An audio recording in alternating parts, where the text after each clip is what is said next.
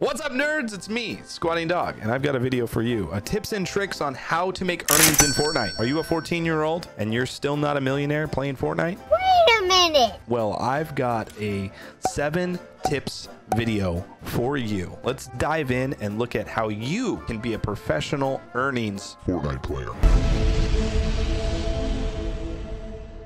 This video will help you make enough money to help your mom pay for that meatloaf. Let's dive in. Okay, so there you are. You just purchased your first Star Wand after watching your favorite Fortnite competitive player realizing that the Star Wand isn't the thing that gets you earnings.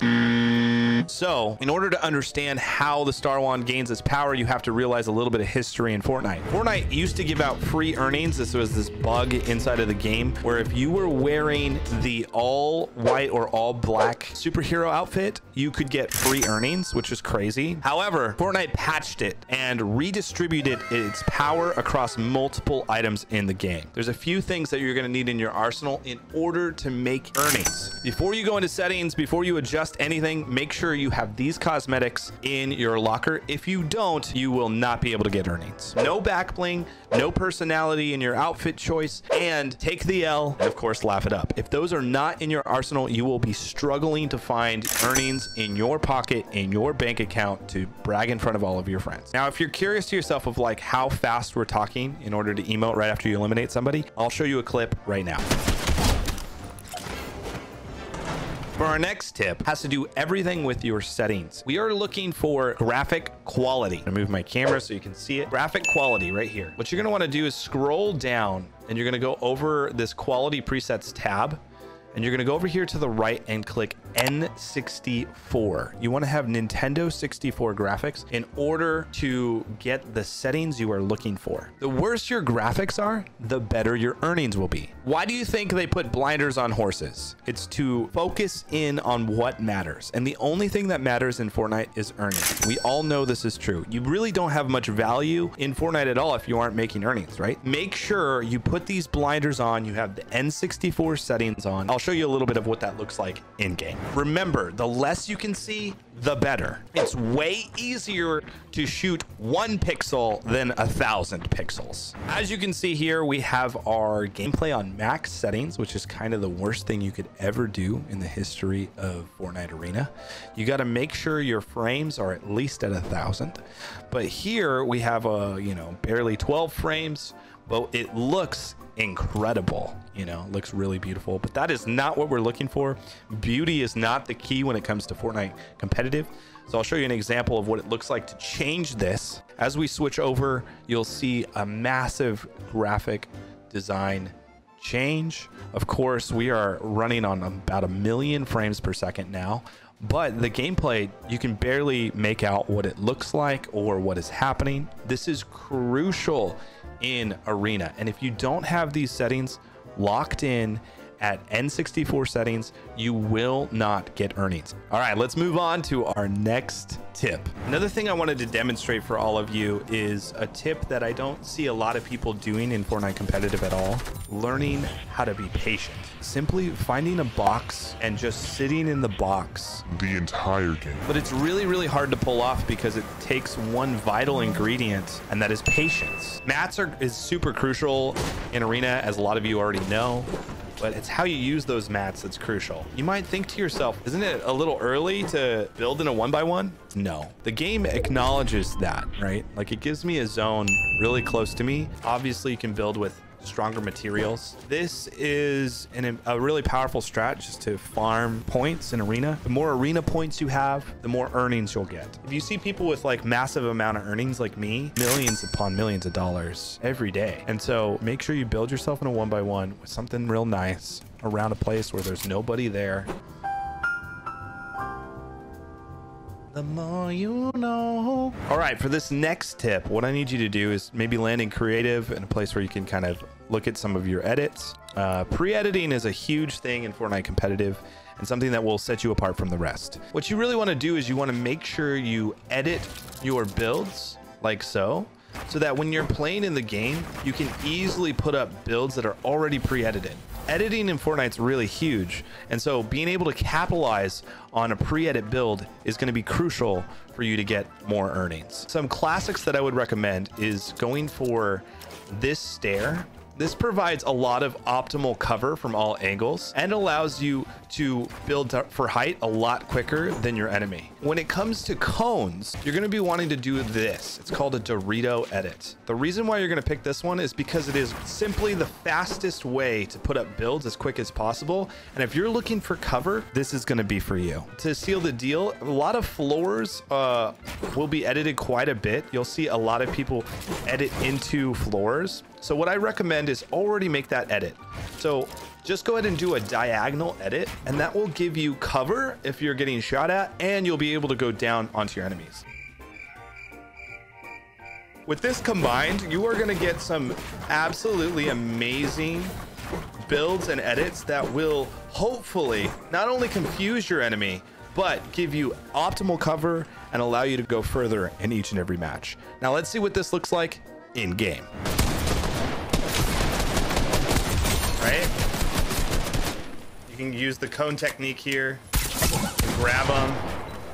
Cone. Use the stairs technique like we were saying earlier. He's not expecting where we are right now at all. This is huge.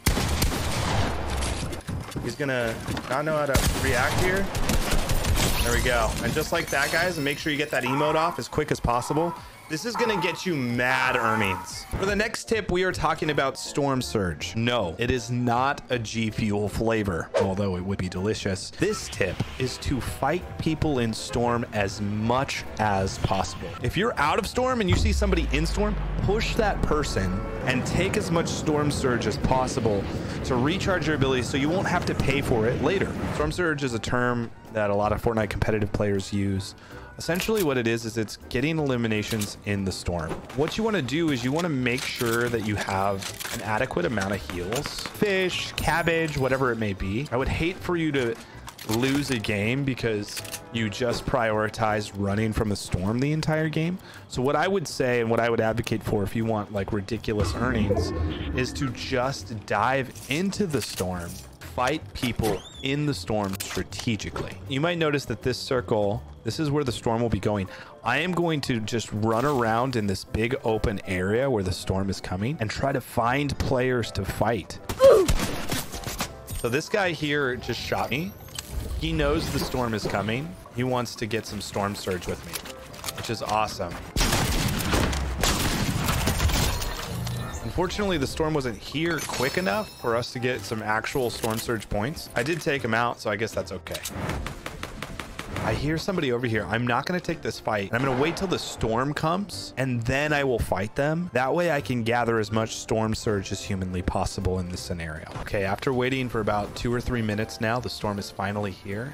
So we enter into the storm here. Doesn't look like this other player wants to surge with me so we're gonna have to wait for another opportunity it's something that you might not know as a competitive player a lot of the earning players know this is when you eliminate somebody you actually get health. There's this this, this cool thing called Siphon, and Siphon will uh, will give you health when you fight somebody in the storm. So don't forget about using Siphon to your advantage. Fortunately, it seems like everyone in this game is playing way too safe. I don't understand why. Not sure what's going on here. So here's a guy that I could obviously beam right now for headshots. But I'm not going to do that because I want to wait for the storm to come. Okay, so here I am really close to the storm. At any moment now, I should be getting shot by this guy. He'll eventually get the clue that we're like, okay, it's time to go fight in the storm and get our storm surge going. Like he ran away for some reason. I'm not sure why. That's such a weird strategy when he could have gotten some free storm surge.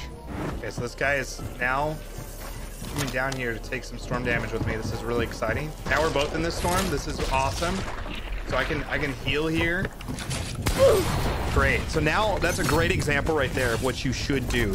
Fight in storm as much as you can to get the adequate amount of storm surge this guy will obviously get a victory royale because of that decision. Let's watch. What separates a casual player from a player with earnings is pinging. So if you're playing competitive with more than one person, pinging different things like where items are, where minis are, where enemies are, all of these things are going to be crucial to where you drop, what you do, and all of those things. So already my teammates have pinged this area. I'm going to ping where that person is to let them know that I'm going to that exact area. I'm going to make sure my teammates know everything about what's happening. There's an enemy near me, like this. I'm going to ping that player. When I eliminate somebody, I'm going to ping them so they know where I eliminated them.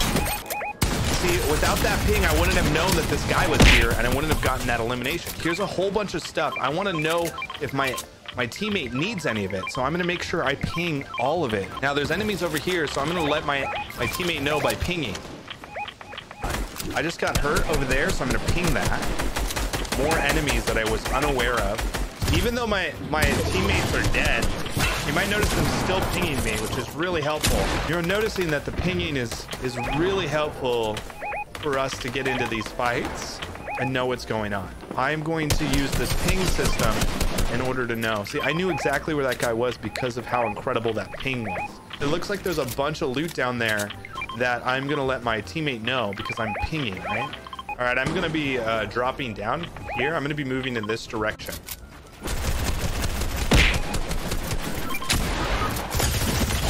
We got all those guys. Also, a lot of stuff here.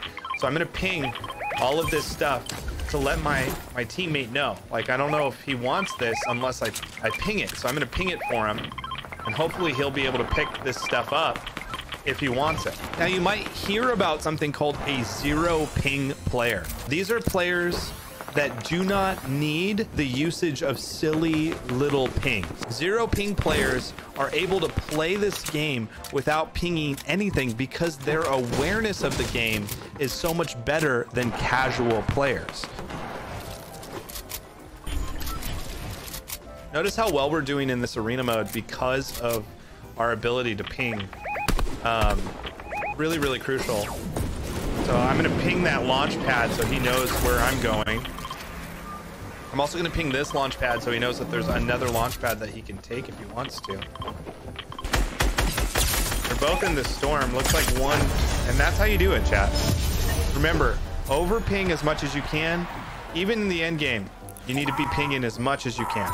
Pinging and punging inside of Fortnite is going to get you more earnings than you can ever imagine. So make sure you apply that to your next game. For this final tip, I'm going to be 100 with you. I'm not entirely sure what this means. I've been watching a lot of YouTube videos and a lot of uh, these really incredible pros have been saying the term boxed like a fish. I don't entirely know how they're using this strategy. I think that's one of three that I've narrowed down to. So I'll let you decide in the comments on which one is the most efficient. The first one being box like a fish where you actually put a flopper inside of a box.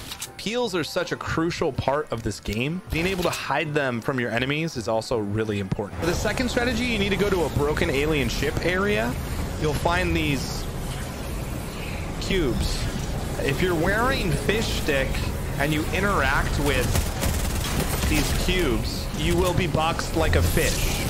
My guess is some of the pros know why this is important. Like I said, leave a comment if you understand this terminology, but let's move on to the final box like a fish technique. And for this last technique, box like a fish, I used a lot of fish to lead people to my box. Actually, it's working. Yeah, so what, what they'll do is I guess they'll just stop paying attention to the game and try to grab as many fish as possible. When they go in, you then box them up just like this. And then you have access to eliminating them just like that. So like I said before, I'm not sure which of the three the competitive scene is using right now. Leave a comment in this video if you have insight to what it could be. Also, bonus tip if you don't have a golden or purple spaz by the end of second circle it's not even worth playing. It's bad for your mental health. Thank me later